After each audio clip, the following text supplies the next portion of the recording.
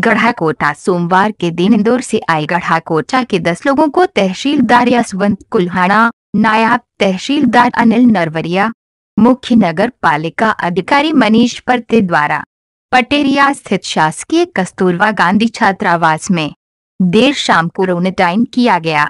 इसके पहले इन सभी लोगों को लालपुरा स्थित धुनीघाट में रखा गया था, जिसके बाद प्रशासन द्वारा छात्रावास शिफ्ट किया।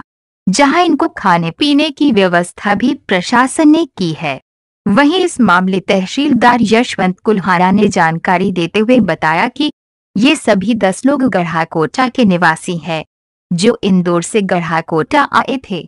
ये सभी लोग इंदौर के नौलंखा रोड स्थित तीन इमली के पास रहते थे, जो इंदौर का कंटेनमेंट एरिया है। सभी का मेडिकल करा लिया गया है। और सभी को पटेरिया स्थित शासकीय कस्तूरबा गांधी छात्रावास में रखा गया है। संवाददाता गढ़ाकोटा नीलेश दुबे।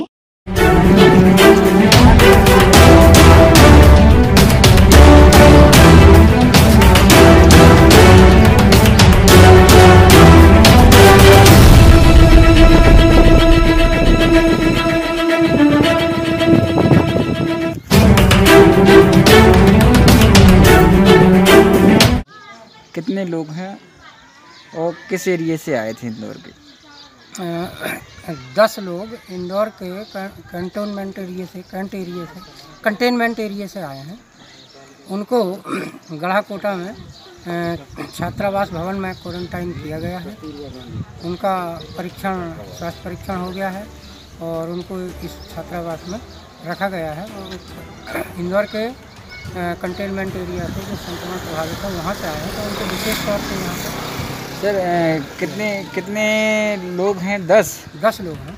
अच्छा सर ये बताइए खाने पीने की लोग क्या व्यवस्था रहेगी? इनको अभी जो है लंच पैकेट तैयार करा के उनको दे दिया गया है।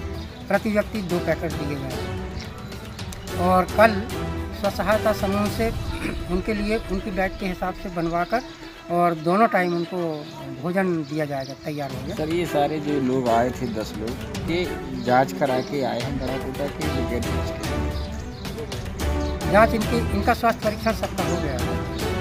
सही है। हाँ सामान्य